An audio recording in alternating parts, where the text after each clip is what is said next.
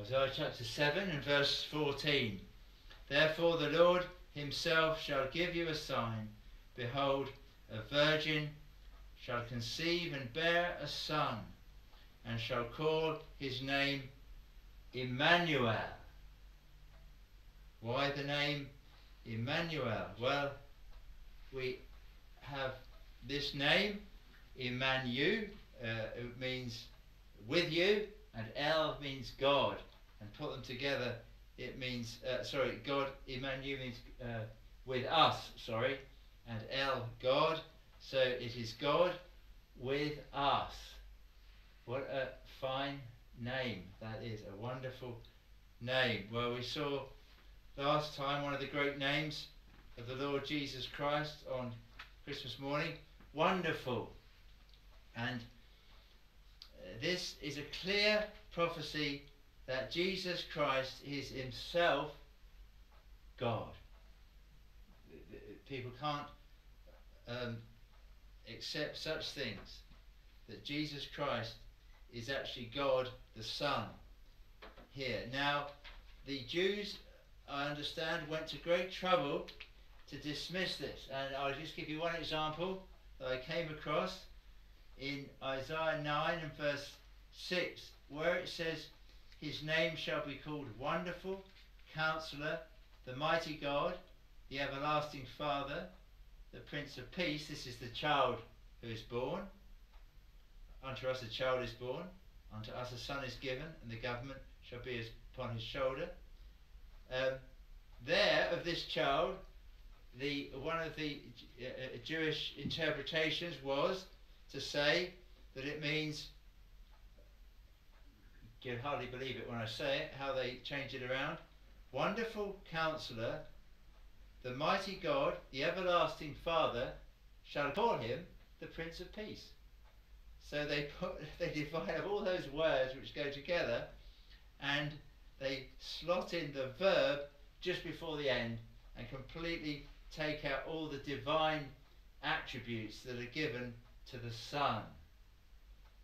Um, and it is, for people who should know Hebrew, it's absolutely appalling to feel that they can uh, change it round and uh, because the order of the words it can be different in Hebrew but to have all those attributes all given to the Father wonderful counselor the mighty God the everlasting Father shall call him the Prince of Peace.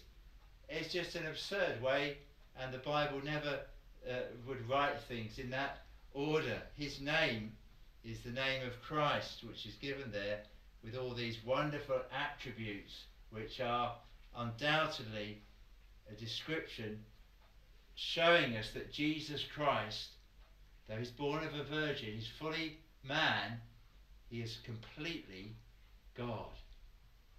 And the amazing words that we had there in uh, chapter 7 that he, his name, the one that born of a virgin, shall be called Emmanuel. And it's. Um, so what we, we, want to get, where, where I'm going to get to this evening is to talk about Emmanuel, God with us, and our understanding as Christians of knowing God with us. That's the point. But just a little bit of introduction of some of this, um, uh, of the background of the of how this prophecy was uh, given at the time. And I read that passage from Second Kings because it shows Ahaz, the king, king of Judah at the time, he had put his trust in Assyria to save him from Israel, the northern kingdom, and Syria, who had were gathering uh, together to, to at- attack him. But he put his trust in another country rather than in God. And so God said to him, I'll give you a sign. But Ahaz said no, verse 12 of Isaiah 7. I will not ask thee, neither will I tempt the Lord. He sounds all kind of holy in a sense. I won't tempt the Lord by asking him for a sign, just like we wouldn't. But God has said to him, He's told him to ask for a sign. He's told him, Trust me, ask me, test me, and I will give you a sign. and Ahaz won't. So this sign is given. Now it's not given to Ahaz, it's hidden from Ahaz. The prophets themselves, Isaiah, as uh, it says in First Peter, the prophets were were um, we often talk about this, don't we? How they were searching the scriptures uh, for the meaning of the scriptures of the prophecies of the things that they were writing for us. This written for us. So the sign is given later then, but the promise is there. And how Isaiah understood this fully, uh, we don't know exactly. But here in, we know there's many prophecies, wonderful prophecies of Christ in Isaiah. So he really did uh, get a, a, a tremendous uh, prophecy from God and a word from God and had faith in God, of course, was very bold and brave in standing up against uh, evil and even kings, such as Ahaz. Now, um, in chapter 8, Emmanuel is mentioned again in verse 8. Um, at the end of verse 8 there, of about thy land, O Emmanuel, Emmanuel's land. And then in verse 10 of chapter 8 of Isaiah, take counsel together and it shall come to naught. Speak the word and it shall not stand, for God is with us. And there, where it, it, it could just say, for Emmanuel. It's the same. It's exactly the same. It's two words, Eman, you, and then El uh, after it. But he, it's written as two words, but we put it as one. And there it's just left as God is with us. So Isaiah knew that God was with him. He'd had visions of God.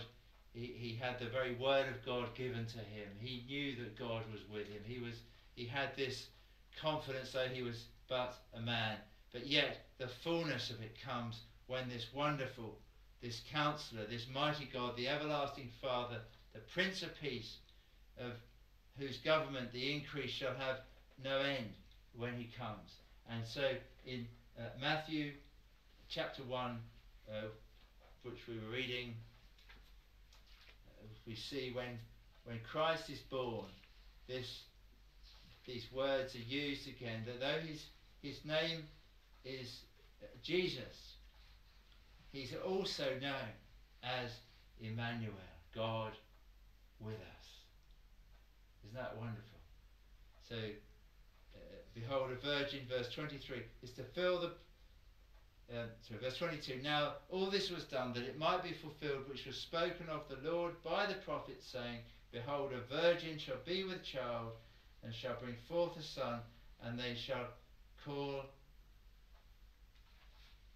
his name Emmanuel, which being interpreted is God with us. God with us. And in First Timothy, just one of the references which it's important to have the authorized version of the Bible because the edited manuscripts they've they've lost or rather changed uh, one of the words here which is God which is a very important word and put he which is obviously referring to Christ but not saying that, that he's God at the same time was God was manifest in the flesh, in there, without controversy. Great is the mystery of godliness. God was manifest in the flesh. So, the Lord Jesus Christ was truly God, who was manifest, who appeared, was uh, shown in the flesh, the Son of God. Now, Ahaz didn't get this sign. He didn't follow the signs at all. He followed after false gods. But are we following the sign of the Son who was born of a virgin, who is God? Who's God? God with us. God, the Son. That there are people today, they say, well, it would have been alright if I was around uh, when Jesus was in Israel because I would have had him to follow and seen him. But the fact of the matter is, is that God now shows us Jesus Christ by the work of the Holy Spirit. So just as Isaiah believed, though Christ hadn't come, we have this sign that Christ was born when the scripture says of a virgin, and we have it from 700 years, 700 is it 734 when he spoke to Ahaz BC to the birth of Christ in is it 5 BC approximately, and it's the same truth that the apostles believed and kept and saw and witnessed and recorded. Of course, they weren't there at the birth of Christ, the apostles, such as Matthew, but of course they've got the accounts from Mary and um, others who were there at the time. So these accounts are included in the gospel accounts. Not, as we said on Christmas Day, not the first thing that was preached. When St. Paul preached, he didn't preach about the birth of Christ particularly, but when the Gospels were recorded, it was right that the apostles were able to put these accounts in of the things that happened, and so encouraging they are to us to understand more fully the birth of the Lord Jesus Christ. But the important point is that these words and descriptions that are used of Jesus Christ, whether in the Old Testament or in the New, are words that we can take with us and keep with us. Emmanuel.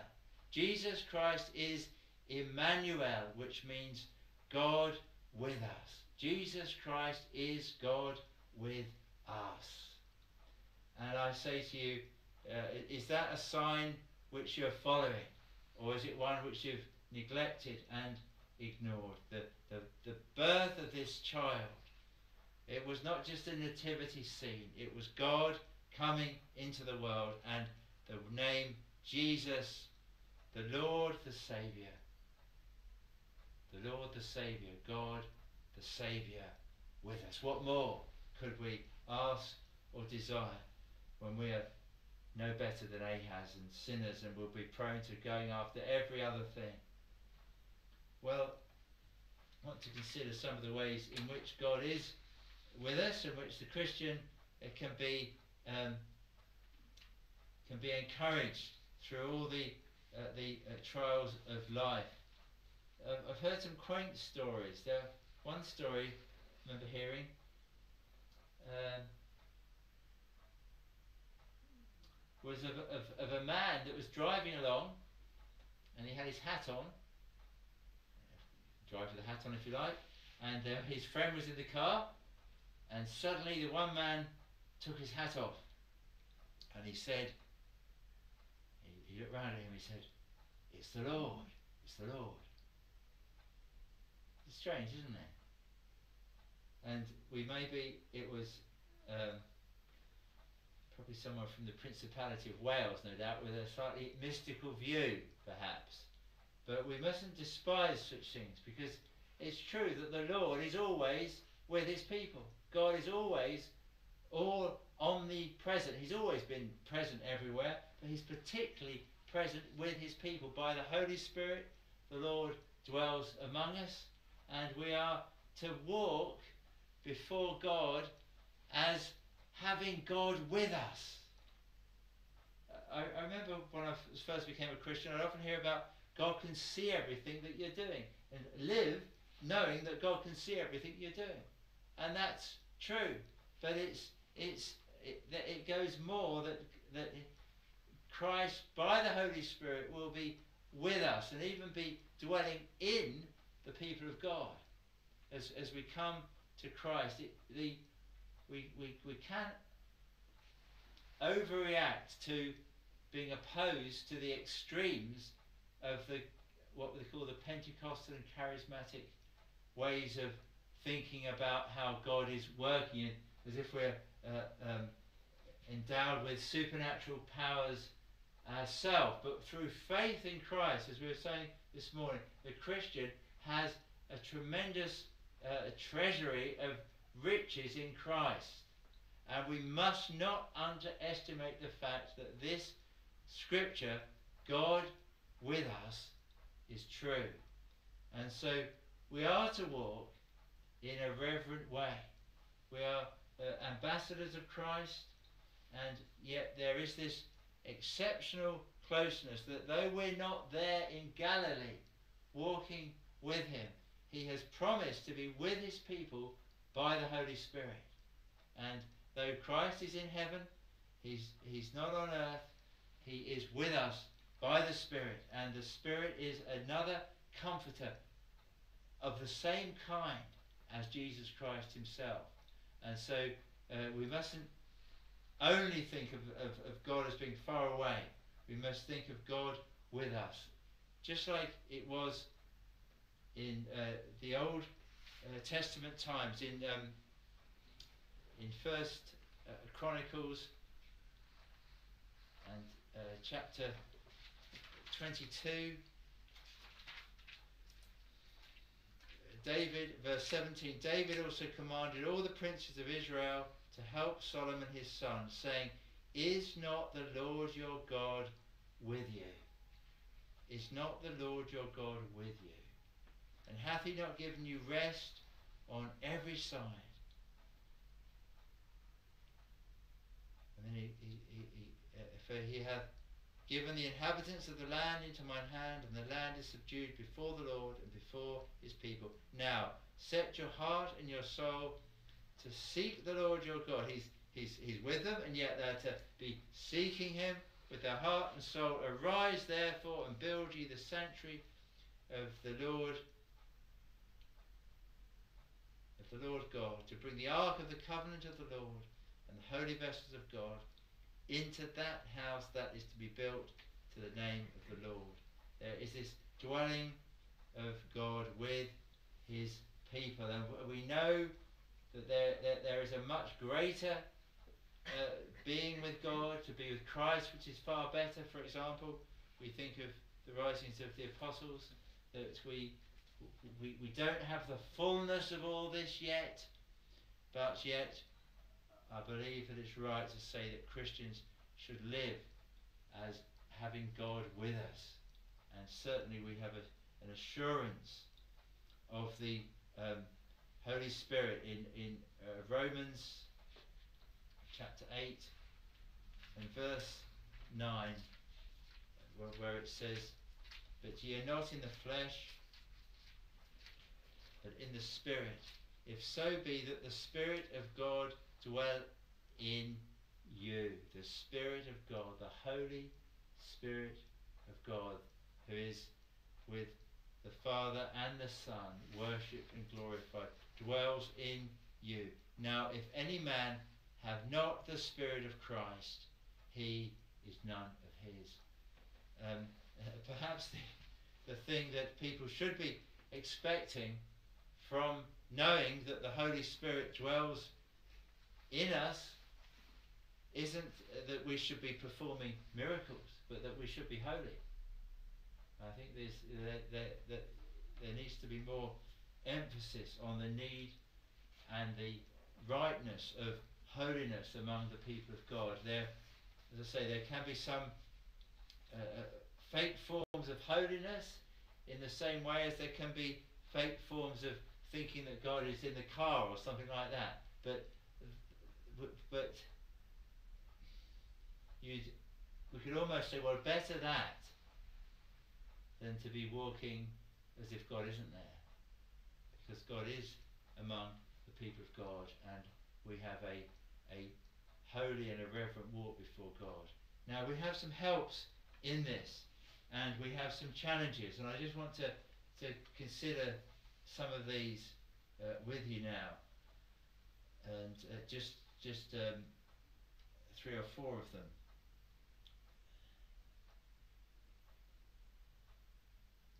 One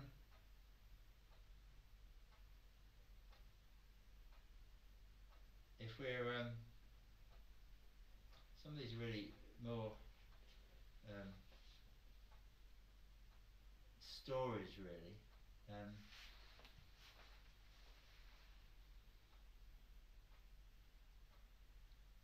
and I, I don't want to tell you too many, too many stories. Um, but let's take a, a obvious point is that we're, we're told that where two or three are gathered together, there am I in the midst of them. Jesus Christ has, has promised this for us. So I, I hope you were helped in those prayers where we pray together, beginning of the service, that we were we were encouraged together, seeking the Lord, saying prayers uh, together. The, uh, this is one of the times when we can have great help to benefit from God being with us, is when we meet together. And of course, it's always a shame when people can't make it to to services. We feel that we miss them, and we want to encourage them. And we know that there's a real benefit to be found when the people of God are meeting together, and God. Yes, He's always with us. People say, "Oh, I, I can pray at home because because God's with me everywhere I go," and it's true. But there, there's this special um, promise, not that we're um, as it were, living out of each other's pockets, as the expression goes, but that we are to be able to encourage one another and enjoy the fellowship of the, the Spirit together. There, there are many obstacles in the Christian life, and God gives us one another as parts of the body of Christ, and He does promise this special presence with us. A, second um, way in which God does promise to be with us especially, is in uh, when we go and speak of Jesus Christ to others. It's the thing that people are most afraid of, but yet it's one of the surest ways that God assures his people of his presence with him if we will say the word Jesus. Not a big word, it's not a long word, but we know what it means, and often people know what it means, and sometimes they may run a mile but it's the word that's needed. Jesus. Uh, I heard one sermon, and a man was having a walk with his dog, and he heard someone uh, swearing. Took Jesus' name in vain at the top of their voice. And this preacher said that he rejoiced to hear it because he was the person that was in a, in a fret was actually crying out to God. But of course, they were taking the Lord's name in vain. And whilst you might want to use that as an opportunity to say to them, look, if you were really praying in faith rather than swearing at God, that would have been a good thing to have done. But actually, they're doing the very opposite. So it was very odd to hear someone rejoicing at someone uh, swearing in that way. But the name of Jesus is a powerful name, even just the word. And people know that as soon as you can talk to them about Jesus, then you've really got somewhere. You've really got onto the subject. And God is with you in that. Go ye therefore, teach all nations, baptizing them in the name of the Father and of the Son and of the Holy Ghost, teaching them to observe all things whatsoever I have commanded you. Well, we might not quite do all that in one go, but nevertheless, teaching people something about Jesus Christ and the Father and the Holy Ghost and the promise there in Matthew, Lo, I'm with you always, even to the end of the age. Well, of course, we've said, yes, God is with us always, but especially in speaking about the Saviour. One of the best ways to know and feel God's um, grace and benefits and goodness and presence among us. The fear of man bringeth a snare, Proverbs says. It's a snare. But whoso putteth his trust in the Lord shall be safe. We, we mustn't be afraid. Some of, some, some of you are very bold in speaking to others about the Lord Jesus Christ. And of course, situations like at work, you must be careful. If you're supposed to be working and you're preaching, then you might be in trouble because you're meant to be working. But there, there are times to talk, and you've got to use some, uh, is it common sense, I think, and, and pray for wisdom in such things. Uh, it's uh, well known that God is with people in troubles. Uh, Christians will often find try and find a way out to avoid any kind of trouble where you think, oh, something troublesome's happened, something terrible's happened to me, and we get taken over by a sense of fear. But uh, these things are sent by God. All troubles and trials are sent by God. And uh, many um, ancient Christians have said things like troubled times are growing times, this sort of thing. This is where we see God in his reality coming close to us and helping us. A refuge, a very present help in trouble. Psalm uh, 46, isn't it? Psalm 46. You see these, these wonderful words, the words that, is this the psalm that kept Martin Luther? Certainly one of them. God is our refuge and strength, a very present help in trouble. He's present, but in troubles, he's very present. That's even better, isn't it? You would want God to be very present. Uh, as we've said, the, the very present is really the future glory to come. But if we can get some very present now, we get a taste of that glory to come. So if we've got troubles, we call upon the Lord. He's our refuge and our strength. We don't, as it were, laugh at troubles, really. We must be uh, careful, especially with those of other people. But God is in the midst of her. God shall help her. And that right early, and that, that whole psalm there provides some wonderful examples of God's presence with his people in trouble. So we have really much encouragement. God with us. Uh, maybe a slightly less uh, complicated, well, a simple little story. My grandmother always used to say to me, or oh, if you're going to the dentist or something like that, she'd always say, she said, well, everyone else has been through it. They've all been to the dentist and they've been okay, so I'll go and I'll be okay and I won't be afraid. That was a good, good, good way of thinking, really. But we can think a bit more, probably, than that. And we can say, well, um, the Lord Jesus Christ has been through a lot more for that for me, so I won't be afraid. Don't be afraid. Times of uncertainty uh, is, a, is another time to know God's with us. Times of change, times of being unsettled. Maybe we've moved house and we haven't quite settled in um, or we're not sure about our future, where we're going to live, this sort of thing, it can be quite unsettling. We've got something ahead of us, something to do, and we're not quite sure how we're going to go for it. Remember, Emmanuel, God with us. Whatever whatever's ahead, whatever the whatever this year holds, for example, for some people, 2015, it might hold. Well, I wrote down a list: trials, failures, bereavements, uh, even success. We need the Lord with us so that we don't rise up in pride. Some people will be successful this year. Others will have hardships, maybe poverty, those difficult decisions to make, problems, challenges, perplexing things.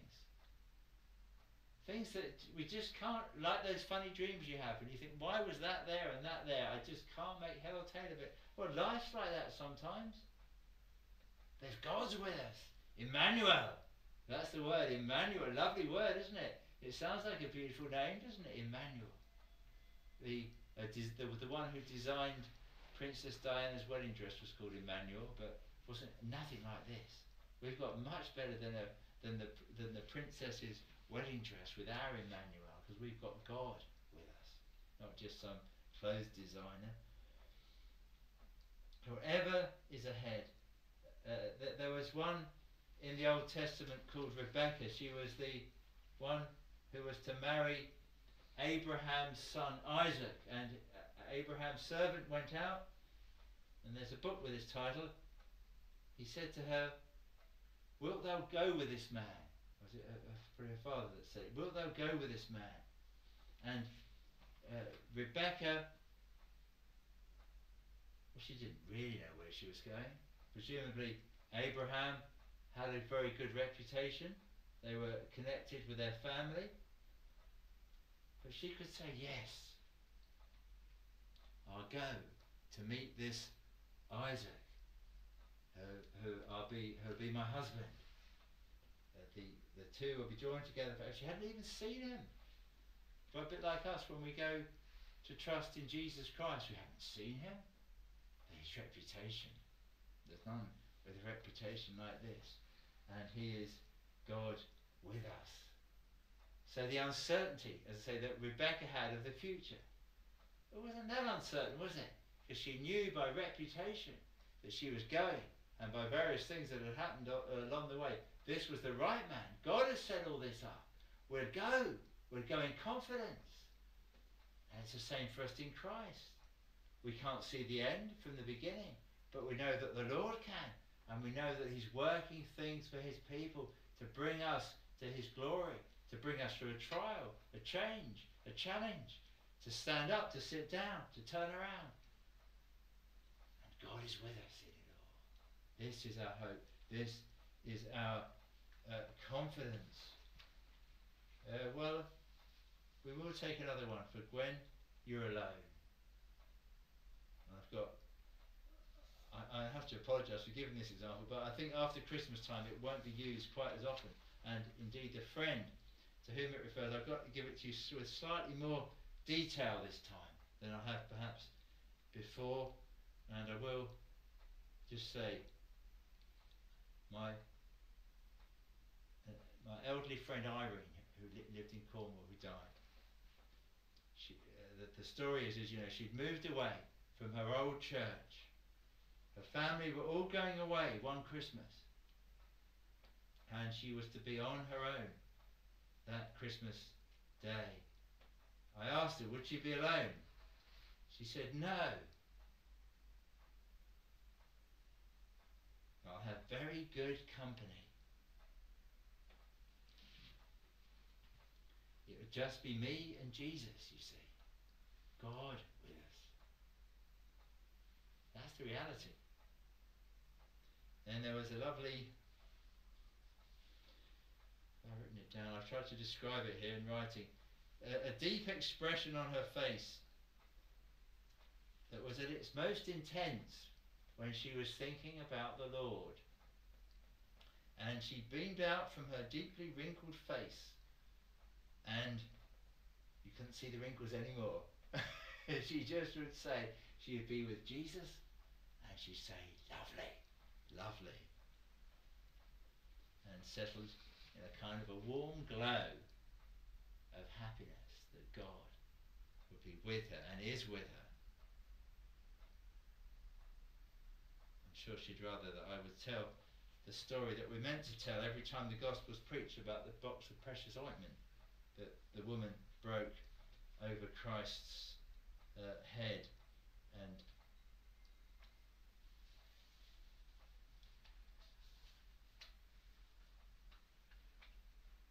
So there need not be any anxiety for the people of God, whether we're alone, whether we're in battles or trials.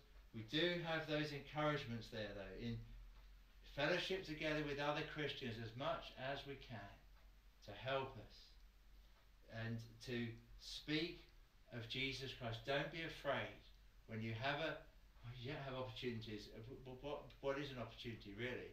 It's a person in front of you and a mouth that you've got we don't actually. In some ways, some people say, "Well, I don't wait for opportunities; they're there anyway. It's just a question of speaking." And sometimes, just it's like, oh no, well, taking the plunge, as it were. It won't. You'll find that God is with you, and that's what we want, isn't it? So we have all these potential changes ahead of us. God will be with us. He's the wonderful, the wonderful one. He is the, the counselor that was said there in, in Isaiah, the, the Prince of Peace, the mighty God. And yet, as, as a God that sticketh closer than a brother. These are the, the and so though we have a closeness and a fellowship with God through our Lord Jesus Christ, as I said, we also have this sense there there there there there is a a carefulness that some Christians have more than others, and and it's to be highly commended when a person walks carefully before God. Not just taking it, as it were, as a perk, oh, I've got all, all this help, but taking it as the responsibility that we have to live worthily, as we said this morning, to walk worthy of the Lord, to walk with God, and um, to walk reverently. And it, the Bible speaks of things like, well, our speech. No one has got the perfect speech. The tongue is like a little rudder, and before we've been able to think, it's spoken. And oh, I wish I hadn't said it quite like that. And we could do a lot of harm, and uh, we we depend upon the Lord. But this help that we have there, do be encouraged. This is not to be a curse to the people of God, is it, that God is with us? Yes, it is a there is to be a sense of awe that we're in the Lord's presence. The preacher is meant to preach as the oracles of God with and we're all meant to be in, in, in, in a sense of fear and trembling before the Lord. But yet we have this combined with much assurance. It's a, it's a, it's a, a real richness in Jesus Christ that we have. And this is what is to be um, to be desired for others, for our, our neighbours who are lost. If we have a real love for our neighbours, yes, we, we might give them some food or something, but they really need the bread of life Jesus Christ. And it's from Him alone. And well, you may think, well, I'm a bit stuck. But people, if you are stuck and you can't do anything else, no doubt some people come and they they help you. They come and do some things for you to help you, and you can you can speak to them that you've you've been able through all that you've been through to trust in Emmanuel. It's a nice name. If you don't want to mention Jesus' name to begin with, you can say, "Do you know Emmanuel?" And then they can say, "Who's this Emmanuel?" Wow, God with us. Can explain a little bit about it. We have to be very encouraged. If God be with us, who can be against us? We have this confidence, this some of these things we spoke about this morning, thankfulness, joyfulness, as we uh, um, walk with the Lord and run with the Lord and wait upon the Lord to renew our, our strength.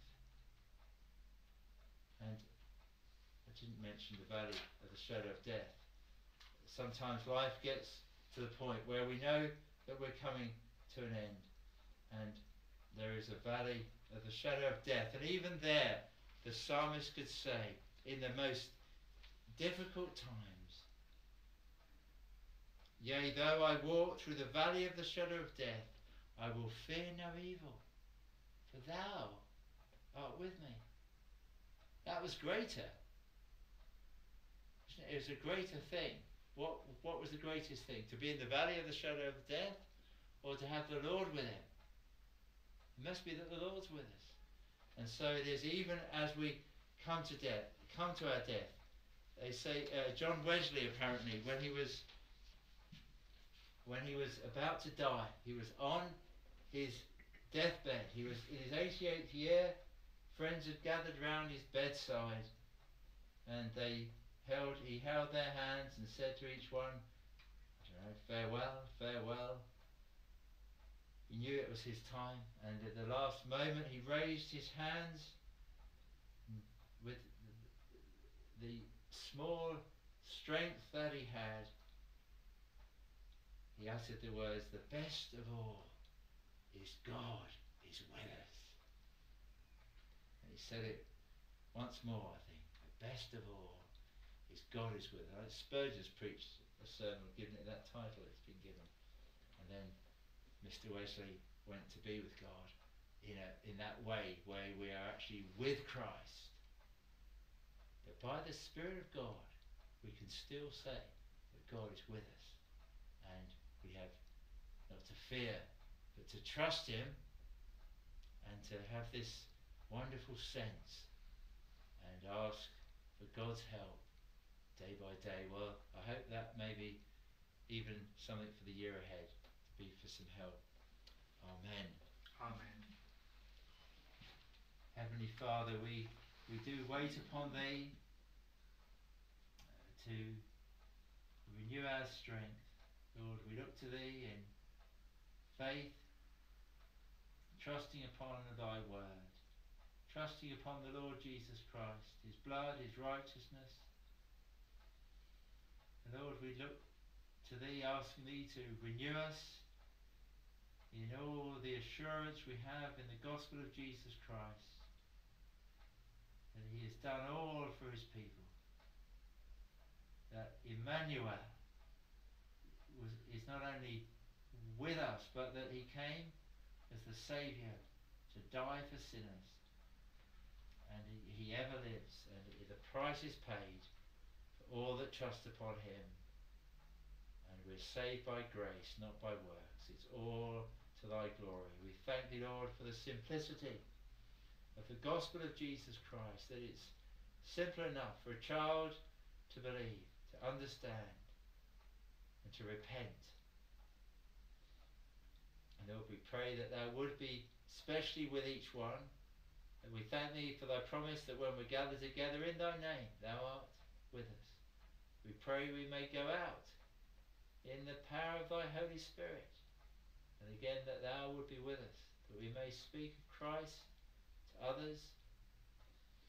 We pray, Lord, that Thou would remind us with any difficulties, trials, challenges, uncertainties, that Thou art Emmanuel, God with us.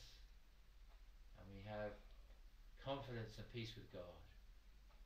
And Lord, that we may walk in fear of Thee, but with confidence as well that we may walk in a holy way, following all of the things that thou dost teach, obediently, humbly, with repentance and faith in the Lord Jesus Christ.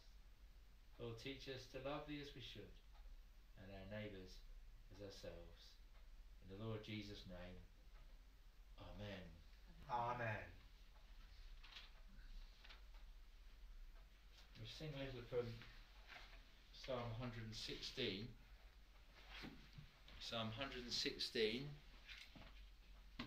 page 262 in the in the uh, metrical psalms.